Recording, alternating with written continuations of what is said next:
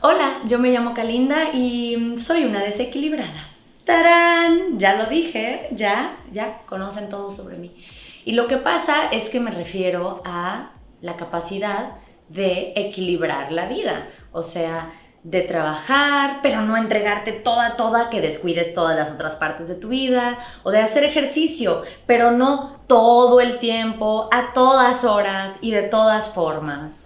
Y ser mamá, pero no nada más entregarte por completo la maternidad y olvidarte de que existes, sino que realmente podamos hacer una vida que sea en equilibrio, una vida en donde podamos hacer varias cosas que nos gusten en una medida prudente.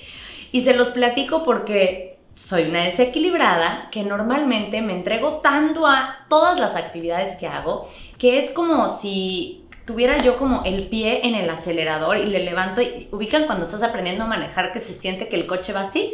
Pues así es mi vida más o menos, porque entonces me entrego a todas las actividades, me lleno de cosas cada instante de mi día. Cada segundo de mi día estoy haciendo algo y de repente ¡ah! me canso y entonces quito el pie del acelerador y mi coche se me hace... ¡ah!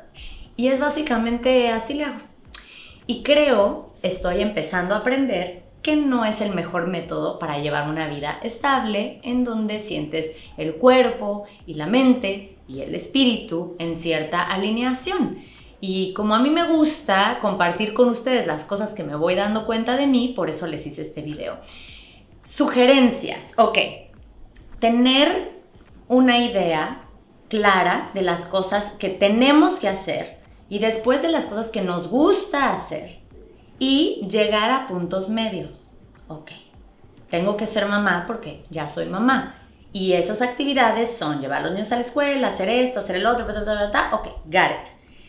Pero, ¿dónde estoy yo? ¿Qué tipo de cosas me gustan hacer? Me gusta hacer ejercicio, me gusta leer, me gusta platicar con mis amigas. Entonces, en mi estructura de la semana, perfectamente planeada, porque personalidad tipo A, ¿estamos más para acá o estamos más para acá? ¿Y qué necesitamos para sentir que todo está en equilibrio?